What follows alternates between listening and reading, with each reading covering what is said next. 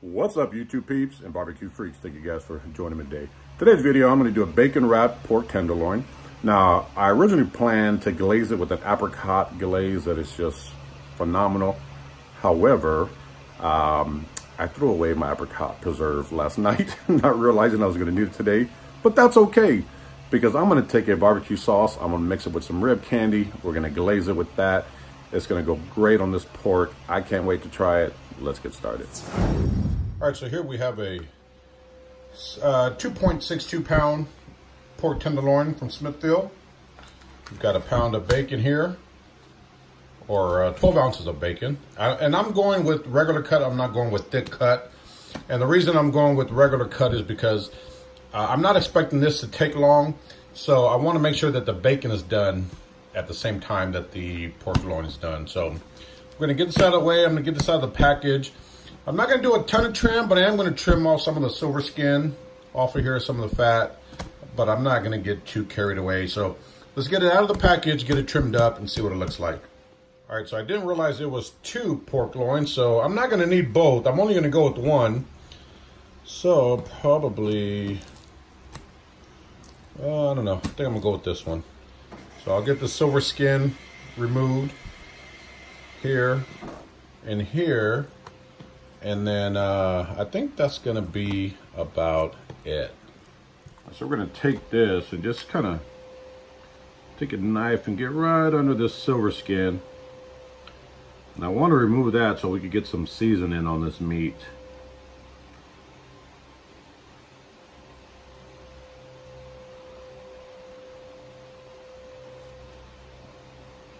Again, we're not going to do a ton of trimming to this. But I do want to get some of this fat off and some of this silver skin. If you happen to leave some on, it's not that big of a deal. Try to get right under here. Get that right off. There you go. Try not to take off too much of the meat.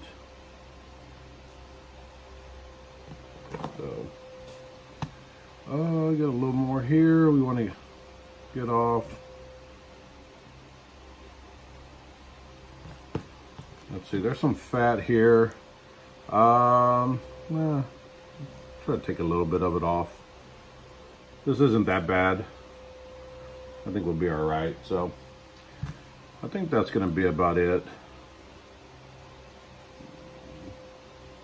I am going to try to trim this up. So I'm gonna cut the little piece off here. And then just a small piece on this end. Just trying to make it even. You can leave that on if you want. But I know for me and the missus, this is gonna be more than enough. So I can go ahead and afford to get rid of a little bit. So that's our pork tenderloin. That's all the trim we're gonna do it, uh, do to it. I am going to season this up and I'm actually going to use some It's Incredible from Heaven Made Products. Really, really like this stuff. So I think this goes great on a bunch of things, so I'm gonna use it on this pork. So got that. Again, no binder. Just gonna take it apply it straight onto the pork. I'm telling you guys, it's just incredible. It gives it tons of flavor. And it's great on everything. So that's that. Next thing we do is get the bacon and get it wrapped up. All right, so I got my bacon here. And uh, I'm just gonna start wrapping it right around this pork loin.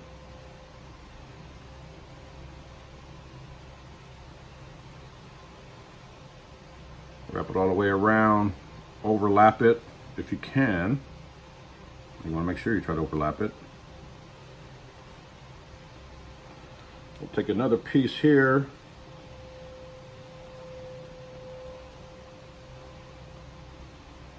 I'm going to place this under the bottom.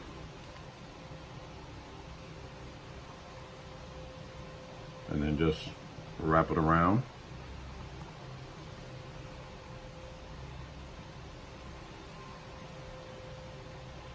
And I'm gonna do this all the way down this whole end of pork loin. So we'll take another piece. I'm gonna put this under the bottom here. Again, I want the these end pieces to be on the bottom so that way when I put it on the grill, it kind of holds in place.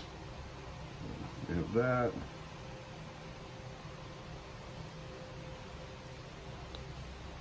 Wrap it around. And then just go until you get the whole thing covered up with bacon.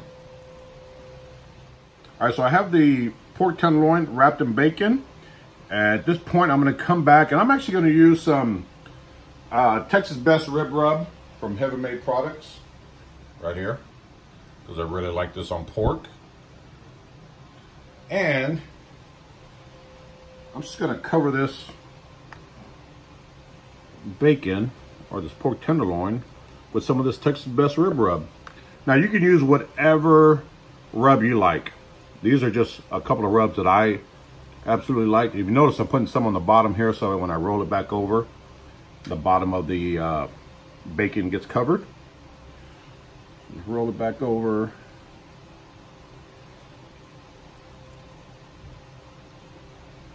And just give it a good covering.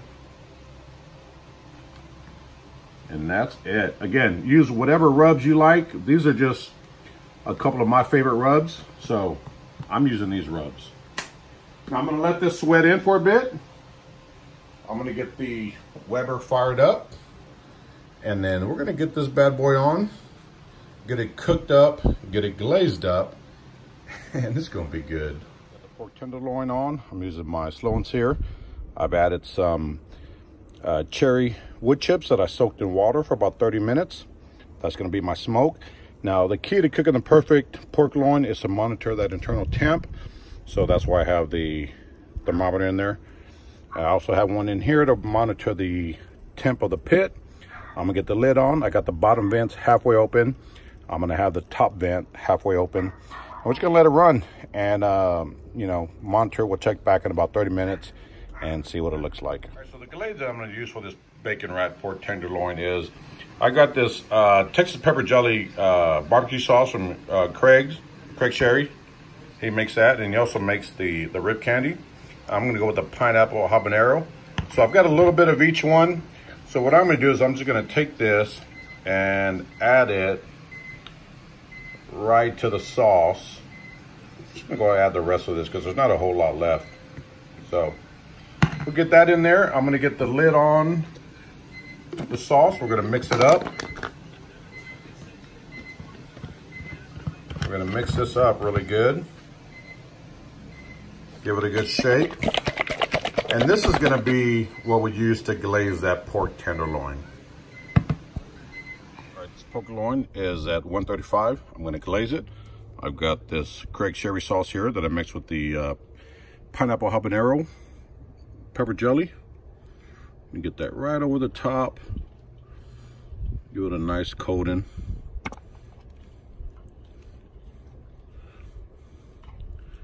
I'm not even gonna have to brush it. I'm just gonna coat it really good. Get the lid back on. And we'll pick back up once it reaches 145, we're gonna pull it. All right, this pork loin is done. It's uh, It hit 145 degrees. Just pulled it off. Nice glaze. Looks amazing. I'm gonna let it rest for just a bit and then we're gonna cut into it. All right, so we're gonna cut into this, see what it looks like. Cut some bite-sized pieces real quick. I'm not gonna cut the whole thing, just a few pieces to take a taste test. Let's look at this. Oh yeah, look at this you guys. Let's see if you can see this. This thing is moist. Let's kind of zoom in. Can you make this out? I hope you can make that out. This thing is moist. Oh yeah. Yeah, buddy. That's good. Got a piece here. Ooh, doggy. It's hot, hot, hot. Still moist. Look at that. You can see how moist it is right there. Perfect. We're gonna cut into cut into this and give it a quick taste. All right, so we're gonna give it a quick taste. You can see this, how moist it is. There you go. Ooh, it's dripping. This is moist. Let's give it a shot.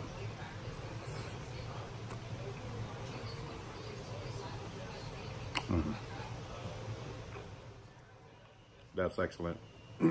Great flavor. There's some heat from that pineapple habanero. But the moisture, good gosh, that moisture in that, that pork loin is perfect. Again, if you cook it to about 145, 185, it should always turn out moist. That's excellent. This, man, let me flip this around and give you another shot of this real quick. You can see how moist it is. Look at all that juice on the board. The juice in the pork loin, look at that. That is excellent. This piece here, Ooh, oh, that's hot, hot, hot. that's still really hot. But you can see all the moisture in this pork loin here. Look at that. That's perfect, absolutely perfect. This pork loin turned out great. That pork loin turned out perfect. Great flavor, nice little heat, but tons of moisture. This pork is not dried out at all, which is the way it should be. So that's good. Here, one more bite. Mmm. Damn it, that's good. Monitor the internal temp. 145. It'll come out perfect every time. I hope you guys enjoyed the video. I will see you guys next time. Take care.